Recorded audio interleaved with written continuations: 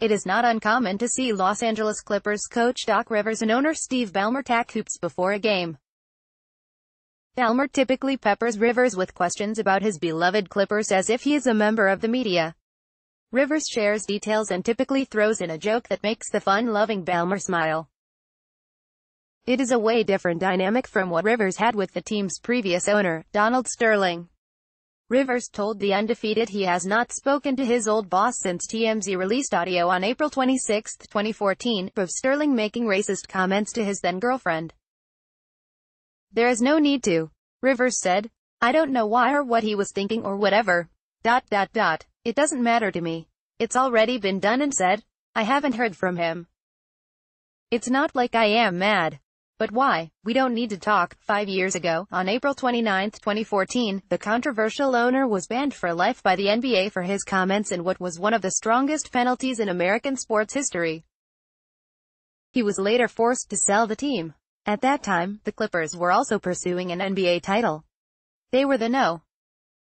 3 seed in the 2014 Western Conference playoffs facing an up-and-coming Golden State Warriors team in the first round. The Clippers took a 2-1 lead in the best-of-seven series with a 98-96 victory in Oakland on April 24. But two days later, their momentum came to a crashing halt after Sterling's remarks became public. News traveled fast within the organization. Game 4 was the following day. How would Rivers respond to their owner being involved in one of the biggest scandals in sports? The undefeated looks back at the franchise's last days under Sterling, five years later, through the recollections of those who endured it. They told me it wasn't a big deal. Members of the Los Angeles Clippers listened to the national anthem before Game 4 of an opening round NBA basketball playoff series against the Golden State Warriors on Sunday, April 27, 2014, in Oakland, California. The Clippers chose not to speak publicly about owner Donald Sterling. Instead, they made a silent protest. The players wore their red Clippers warm-up shirts inside out to hide the team's logo. AP photo, Marcio Jose Sanchez, Sterling has a long history of racist behavior and had been sued on two occasions for allegedly declining to rent apartments to African Americans and Hispanics. He was also sued in 2009 by former Clippers general manager Elgin Baylor, who accused him of age and racial discrimination. There is also a well-known story of the Clippers owner once going into his team's locker room after a game while players were dressing and telling his friends, look at those beautiful black bodies. Rivers said he first caught wind on April 23, 2014, that Sterling had made some controversial comments but was told by a Clippers executive they weren't a big deal. Rivers alerted his players during a team meeting at the Four Seasons Hotel in San Francisco that the story was expected to come out, but he didn't have details to offer. Blake Griffin, we remember having a meeting and Doc was saying what was happening. When he explained it, I don't think everyone understood the magnitude of what it was going to be. Doc Rivers, I was misled in that whole thing, and that is a story for the book one day. But I was told there was a story coming out and it wasn't a big deal beforehand. I had a chance two days before to look at it. But they told me it wasn't a big deal. Ryan Hollins, Doc said that Sterling said something stupid with racial undertones to a woman, but it was not expected to be that big of a deal as it ended up being. Rivers, I took this job. I knew there was going to be risk. I clearly didn't know there was going to be that type of risk. Those words hurt. Those words pierced. Head coach Doc Rivers of the Los Angeles Clippers speaks to the press after a game against the Golden State Warriors in Game 3 of the Western Conference quarterfinals during the 2014 NBA playoffs at Oracle Arena on April 24, 2014 in Oakland, California. Rocky Widner, NBA via Getty Images at 10 p.m. PDT on April 24, 2014, TMZ released a recording in which a married Sterling made racial comments to his girlfriend V. Stiviano, criticizing her for putting pictures on social media with well-known African Americans, including former Los Angeles Lakers star Magic Johnson and then Los Angeles Dodgers outfielder Matt Kemp. TMZ reported that the private taping of Sterling's racist rant took place on April 9, 2014, after Stiviano posted a picture of her with Johnson on Instagram. Some of Sterling's racist audio excerpts released by TMZ included, It bothers me a lot that you want to broadcast that you're associating with black people. Do you have to? You can sleep with black men. You can bring them in, you can do whatever you want. The little I ask you is not to promote it on that, and not to bring them to my games. I'm just saying, in your lousy F Instagrams, you don't have to have yourself with a walking with black people. Don't put him, Johnson, on an Instagram for the world to have to see so they have to call me. And don't bring him to my games. A stunned Rivers finally listened to the audio just before it was released. One of our PR guys heard it an hour and a half before it came out and he said, Doc, I think you need to see this video, Rivers said. And I went to see it and I was incensed. I was pissed. I didn't really know what to do. Rivers quickly called a late-night team meeting at the hotel to talk about the Sterling report. Wearing a Clippers t-shirt, Rivers entered the meeting room, where incensed players were waiting. Griffin, we pretty much found out exactly what it was with everyone else. Willie Green, we all got the news at the same time as the reports were coming out. We were shocked to hear it, and we all heard rumors. To hear the actual words that he said were shocking. Hollins, when it came out, I was blindsided. We didn't know it was going to be like that. We were told that he made some comments that were racially charged, but we didn't know what they were. I guess the one that struck us was the Magic Johnson stuff, the black guy in the building. When we heard those words, those words hurt. Those words pierced, Rivers. I let them know I was black too. It was funny. They were pissed at everybody, including me. That is one of the things that broke the ice. I said, by the way, guys, my name is Glenn Rivers. I'm from Maywood, Illinois, and I'm black. The other thing I said is I need you to trust me. I will allow you guys to choose what you want me to say, but I need you to trust me and have one voice. If I have learned one thing about racism, and I've been through a lot of things with racism, they never want to go after the guy that says this stuff like Sterling. They want to go after the persecuted. Everyone wants to know how the persecuted will respond rather than focusing on the guy that did something, Matt Barnes. What he said was more of a shake my head situation than being mad. I thought he finally got caught up with this bum a chick no one liked. As far as the racial comments, I've heard much worse and have had worse done to me, so it wasn't that big of a deal. I thought he wasn't the only owner that felt that way. He was just the only one dumb enough to get caught saying it.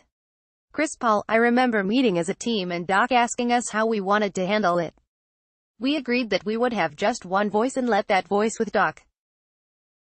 I absolutely agreed with that. Rivers, I was so concerned that someone from our team would say something crazy and then they were the story. And that is what we talked about. From DJ, DeAndre Jordan, to Blake, they decided what they wanted to do. They let me be the voice, and that was huge for us because we got through that without any other controversy.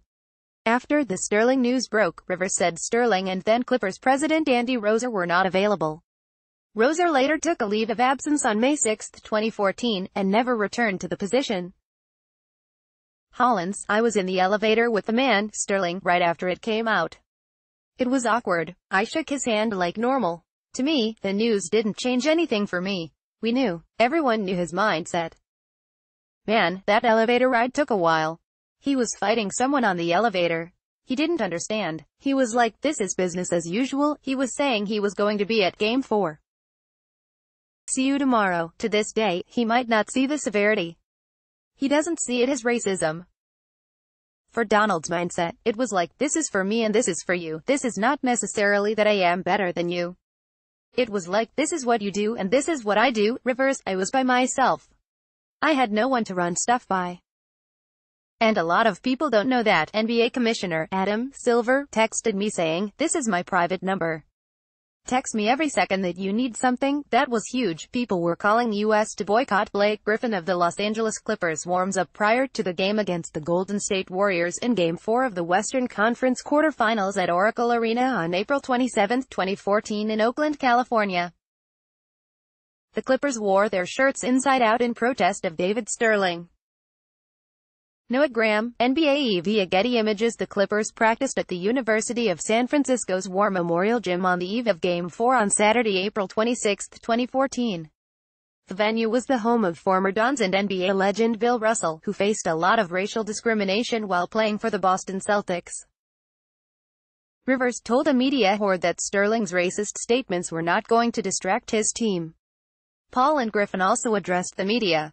And while Rivers voiced that his players would not be distracted, it was quite the contrary. They were getting so many calls and texts from family and friends that it was impossible for them to block it out. Paul, there were a whole lot of people in our ears. Everybody's phone was going crazy, saying this and saying that. They were telling what you should and shouldn't do. For us, we were trying to stay together as much as possible. And whatever we did, we wanted to do it together as a team. Hollins, it was so awkward, man. You are trying to focus on the job at hand. Then you have a game to play. There was a lot of energy in different places. It was kind of weird. And honestly, it divided our team. It divided a lot of stuff we were doing. A lot of people got too focused on it. Other people in their mind weren't too focused on it. And then basketball was there. You're getting torn in different places, and then your friends and family are saying certain things. But I don't think we aired it all the right way. Griffin, as far as distractions go, I don't know if there could have been a bigger thing. Everybody was calling for us to do something. At one point I had to stop answering questions from people I was close to just because it was the playoffs. Doc was always talking to us about keeping your box. You got your family, but everything else goes outside the box. That was crazy because people were calling for us to boycott, and then we had to make a decision. There was an uncomfortable buzz in Oracle Arena on April 27, ahead of Game 4. There were rumors that Jordan and Barnes specifically, and perhaps the Clippers as a whole, would boycott the game. Warriors forward Draymond Green also told the undefeated that he heard the Clippers players considered not playing. The Warriors were in the other locker room awaiting word on what the Clippers were going to do and planned to support them. Barnes said Rivers left it up to the players to decide whether they wanted to boycott and just asked that they make a uniform decision. Ultimately, the Clippers players determined as a whole that their quest for a title was bigger than Sterling. Draymond Green, I remember the awkwardness of the whole time from when it was released to leading to the game. Everyone seemed antsy. The most important thing was everyone was standing with them. Guys on our team were standing with them. It was a sad situation. Obviously, it didn't just affect them, although they were playing on the team he owned. It was bigger than that. It was about our culture as a whole. It was crazy. Editors picks Baron Davis compares playing for Donald Sterling to being in Get Out Darius Miles and Quentin Richardson on Friendship, Clippers Days, and Team Jordan Doc Rivers on Clippers, We Don't Die. You're like roaches, one big NBA family. How the Curry and Rivers clans are deeply related. Jerry Richardson is no stranger to incidents involving race warriors guard Klay Thompson. I felt bad for those guys. They were in a tough position. Dot dot dot. It was definitely a possibility that they boycotted the game, and it would have been completely justified. Jordan, I wasn't going to play. I felt like that was a representation of us. And for me, obviously being a black player, I didn't want to go out there and represent that. That isn't what I am about. My teammates, I will keep their names to myself but they agreed with me on that, and they weren't all black. I wasn't being negative or anything, but I was standing for something bigger than myself. But ultimately, when you're a player coming up, you're not like, oh, I want to compete for this, you want to do it for your teammates. So ultimately, that swayed me to go out there and fight for my guys. Griffin, we never played for Sterling anyway. It wasn't like we were going out representing Sterling. We were representing our families, the city of Los Angeles and our fans. It all took care of itself in the end.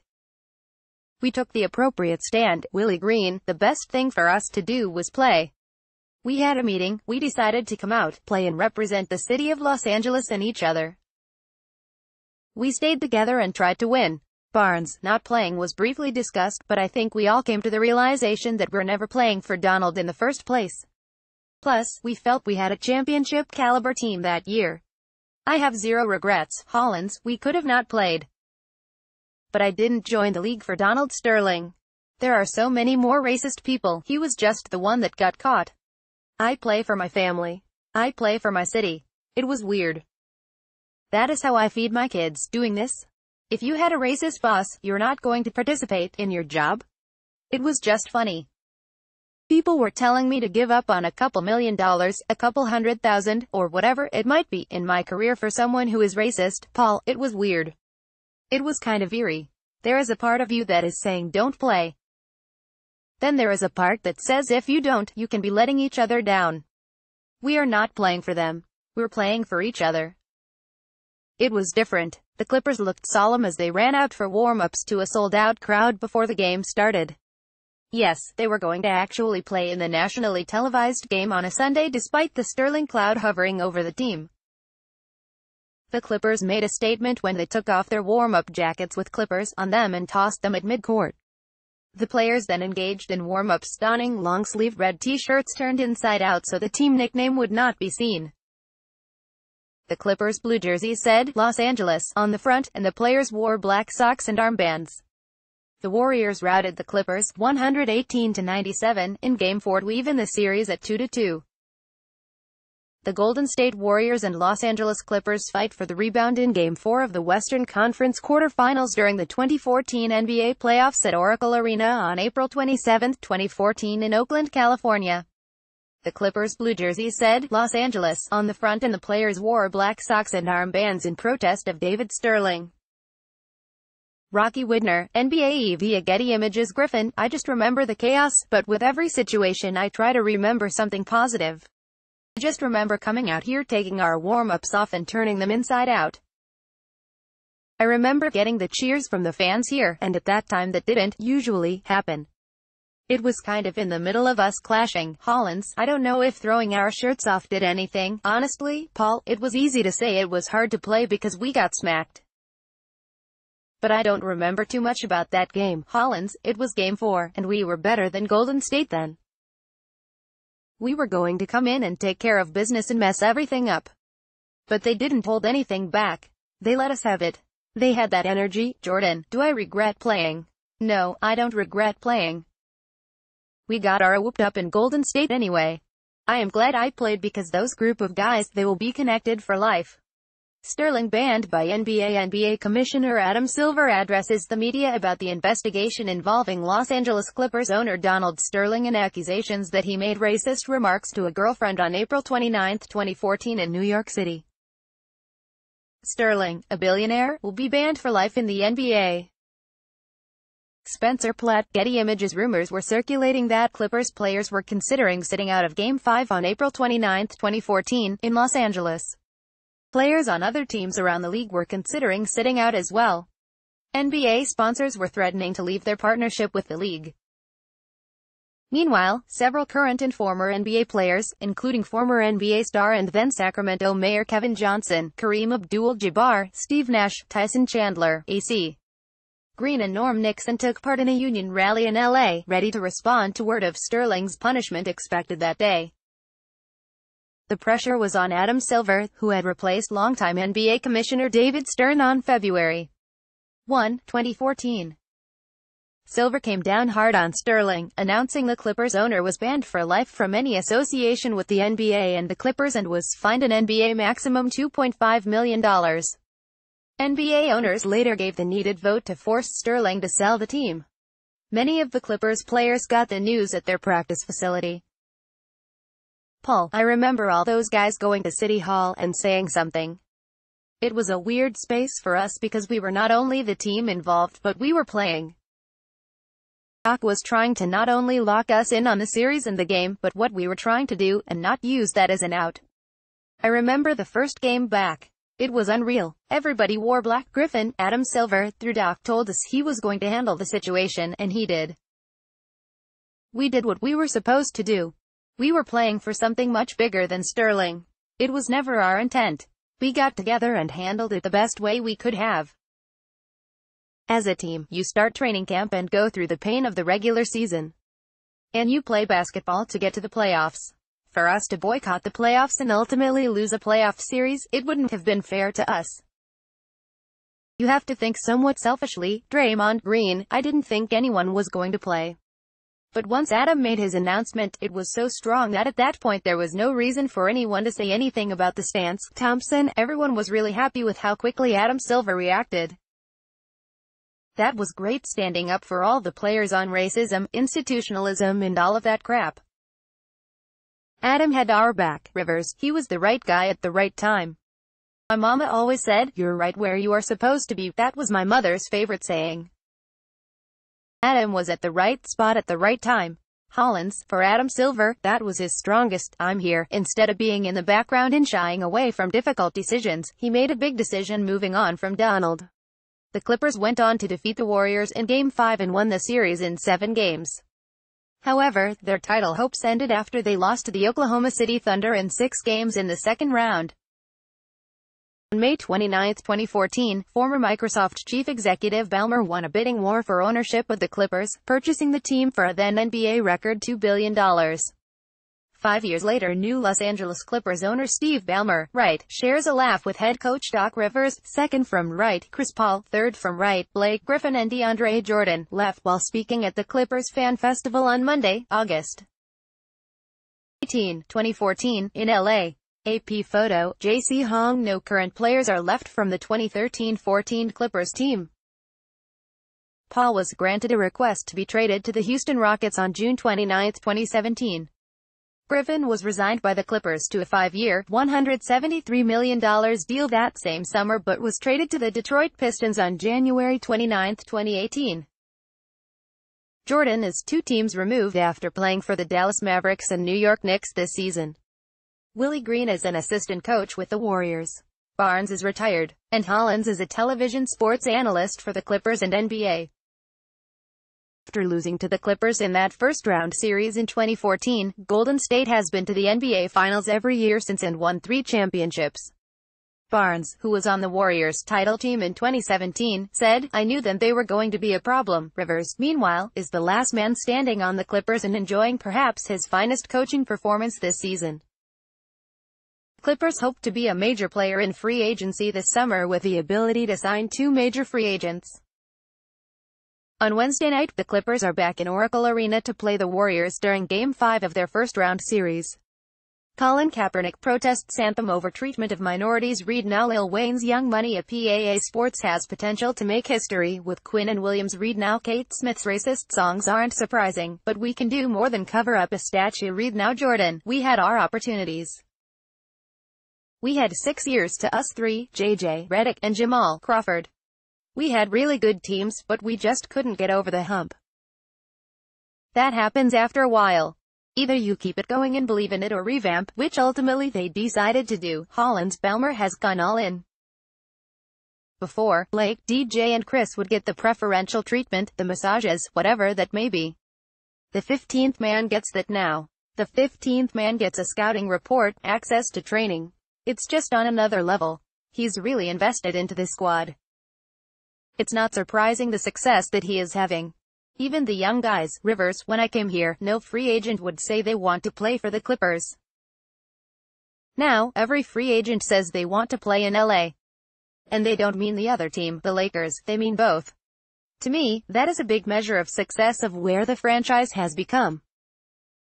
The next step is getting free agents and then winning. Liner notes JJ Redick respectfully declined participation in this story as he is concentrating on the NBA playoffs with the Philadelphia 76ers. Mark J. Spears is the senior NBA writer for The Undefeated. He used to be able to dunk on you, but he hasn't been able to in years and his knees still hurt. Let's block ads. Why?